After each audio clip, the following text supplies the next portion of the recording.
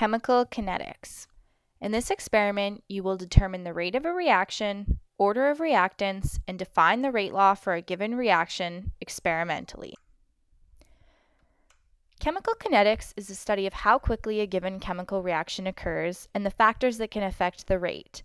It essentially describes the speed of a reaction. The definition of reaction rate is the measure of the change in reactant concentration per unit of time. There are many factors that can affect reaction rate, which are listed below. As we know, increasing the temperature is an easy way to increase the rate of a reaction. The concentration of a reactant can also play a role in the rate of a reaction, as well as the physical state, so whether a reactant is in gas, solid, or liquid phase can play a role, and the reaction rate can be affected if there is a catalyst present. Reaction rates can be classified into two categories the first being independent. In an independent reaction, the rate is independent of the changing concentration of a reactant, and we, we see a linear concentration over time relationship as depicted on the right. This tells us that the amount of reactant use per time does not change. The other category is a dependent reaction rate. This is where the rate depends on the changing concentration of the reactant. When we plot this data, we see a curvilinear concentration over time relationship as we see on the right. This means that the reactant get, that the reaction gets slower as our reactants are consumed. We will be using this graphing technique today to visualize what category our reaction falls into with respect to each reactant. Because each reactant can affect the reaction rate differently, we sum it up in what's called a rate law. The rate law tells us the dependence of reaction rate on concentration, and it is given by the expression rate equals K times concentration of A to the power of X times the concentration of B to the power of Y. In this expression, K is the reaction's rate constant. A and B are the concentrations of the reactants in moles per liter, and X and Y are the orders of the reactants A and B respectively. We will determine all of these variables experimentally. Discovering the order of a reactant gives us information about how the concentration of the reactant changes the rate of the reaction. When a reactant is zeroth order, the rate is independent of the concentration of the reactant. This means that experimentally, if you varied your concentration of this reactant, you would see no difference in your reaction rate. When a reaction is zeroth order, it has an exponent of zero and therefore is not shown in the rate law. When a reaction, when a reactant is first order, it has an exponent of one. This means that if you double the concentration of your reactant, you double your rate. If you half the concentration of your reactant, you half the rate. You see a directly proportional relationship between the concentration of the reactant and the rate.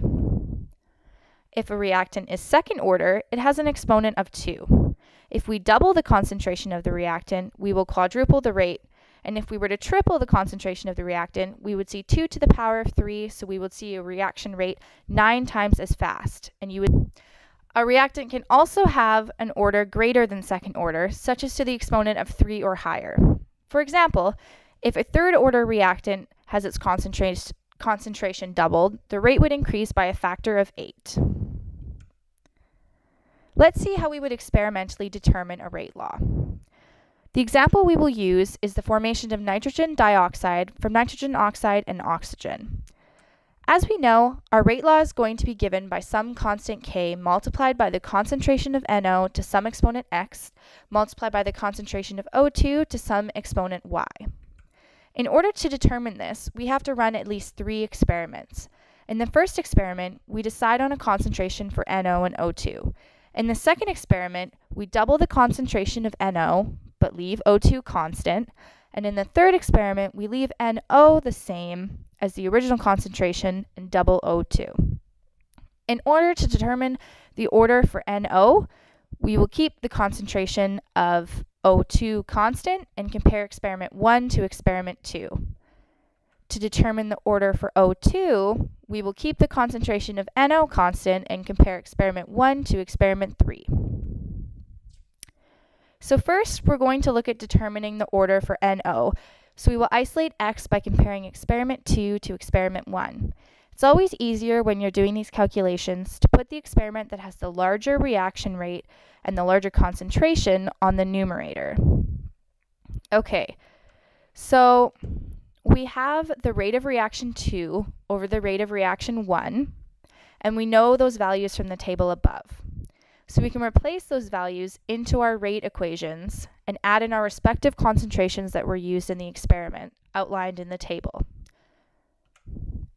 Now, we can cancel our units and cancel our constant K and our oxygen concentration that was kept constant, and we're left with 4.2. So this number resulted from dividing 0.105 by 0.025. So now we have 4.2 equals 2 to the power of x. Now we have to get x in front of the expression. To do that, we use uh, log laws. So we can take the natural log, ln, and remember that what you do to one side, you must do to the other. So we're left with the expression ln 4.2 equals ln 2.0 to the x. And log rules tell us that the x can be brought down to the front. So we can isolate x by dividing both sides by ln 2, canceling out, and dividing to get x equals 2.07. So we always round to the closest whole number and we get a value of 2. This means that NO's order in this reaction is 2, so we can go ahead and replace x with 2 in our rate law expression. Now let's look at O2. This process will be the exact same, except we are comparing experiment 1 and experiment 3. So we'll isolate y. So we will take our uh, rates from the table above and we can fill them into our expression like on the slide previous. And then we will perform our canceling. Notice again that we put the reaction with the higher reaction rate on the numerator to make our calculations easier. So after canceling our units, and our constant K and our concentration of uh, NO because it's the same in both experiments, we're left with 2 equals 2 to the power of y. So we can use ln again to isolate y.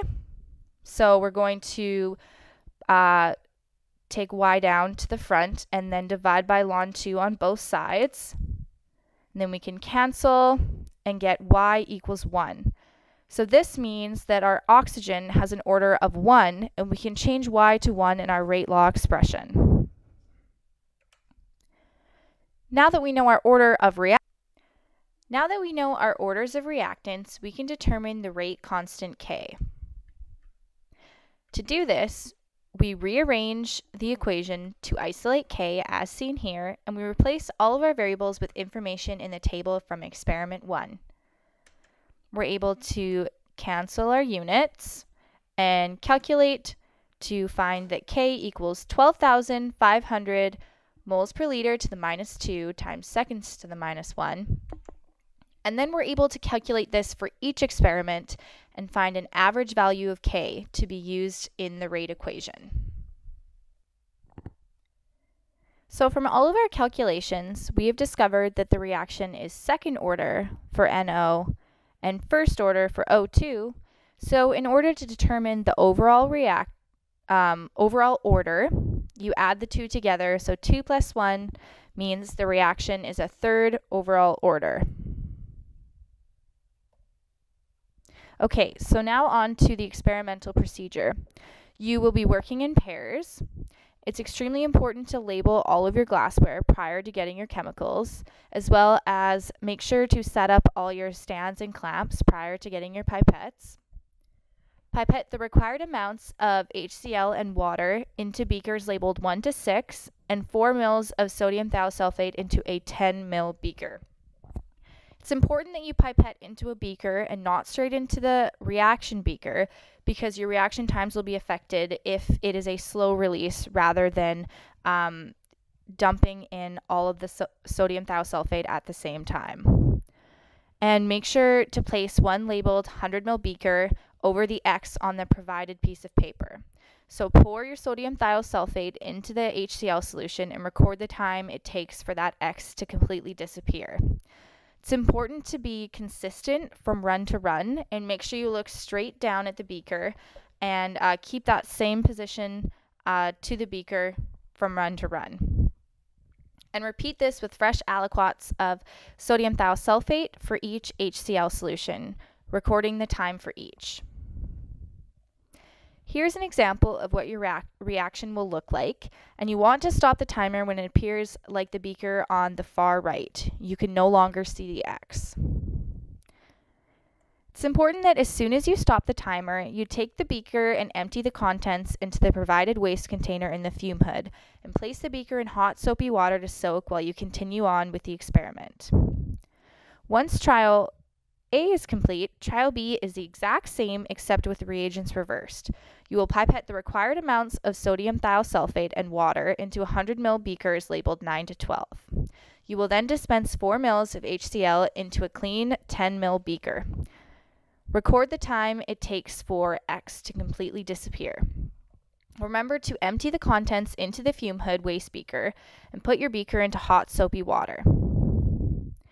Repeat this with fresh aliquots of HCl in the same 10 ml beaker for each sodium thiosulfate solution, recording the time for each.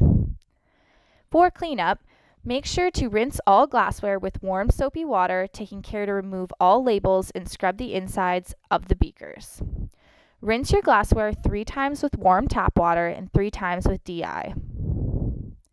Make sure that your glassware is checked before returning your bins to your locker and the 100 ml beakers to the wet bench area. For calculations, you will be calculating the concentration of sodium thiosulfate and HCl for each solution. Make sure to consider the total volume when your water is added. You will be calculating the average times for each solution, calculating the reaction rate for each solution from the average reaction time, so note that to calculate your rate, you take the inverse of time, so 1 over time. Tabulate the concentration of HCl, average reaction time, and reaction rate in Excel. Tabulate the concentration of sodium thiosulfate, average reaction time, and reaction rate in Excel.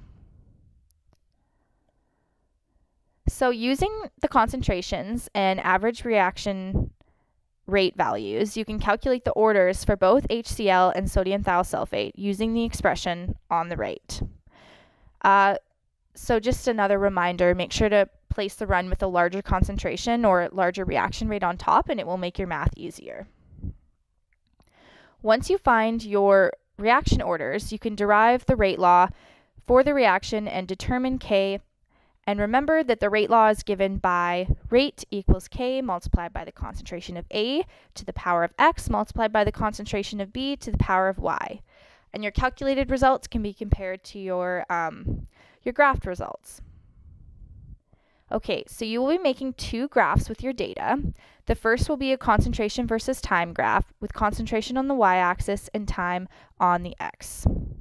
So you will have to uh, give them two trend lines and a legend. And uh, you have to choose whether you want to have a linear, power, or exponential trend line. So you have to test out each one and find which one you think looks the best. And so this graph here is hypothetical. It's not actual results from the experiment, but yours may look similar to it. Your second graph will be rate versus concentration. You will have rate on the y-axis, noting that the units are seconds to the minus 1, and concentration on the x. So looking at the graph with respect to sodium thiosulfate, the reaction is zero order. And that's because when we change the concentration, we see that the reaction rate doesn't change. So that's how we know that it's zero order. With respect to HCl, it is first order. And that's because we see a linear increasing line. So as we increase um, our concentration, our rate increases um, directly. So it's a proportionality. And a little reminder, it's not necessarily actual results. So you'll be using your graphs to compare, but uh, we'll be determining the orders from uh, calculating them from your actual data. Okay, so how to put two trend lines on the same graph. First, you will graph the concentration and time data for your HCl data, and then move your graph to a new chart, as we normally do, and physically right click on the HCl data points on the graph. Choose Select Data from the drop down menu, and it will look like this. You can then select Add to add a new series to your graph. Okay, so now you can enter the series name as sodium thiosulfate, and then next select the X values, um, so your concentration of sodium thiosulfate from the Excel data sheet, and then select the Y values, average time from the same Excel data sheet.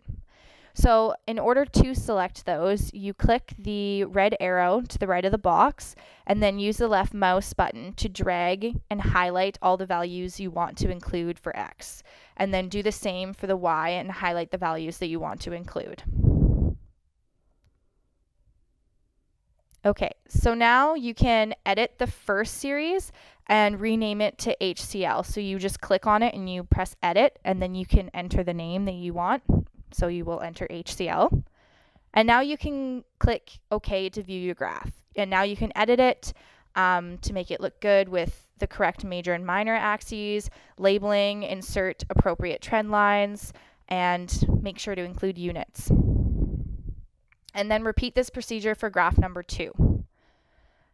So this is a summary of what will be added to each beaker. In beakers 1 to 6, you will be varying the volume of HCl and making the volume up to 10 mils with water. The sodium thiosulfate will be dispensed into a 10 ml beaker. And then in beakers 7 to 12, the sodium thiosulfate volume will be varied and made up to 10 mils with water, and the HCl will be dispensed into a 10 ml beaker.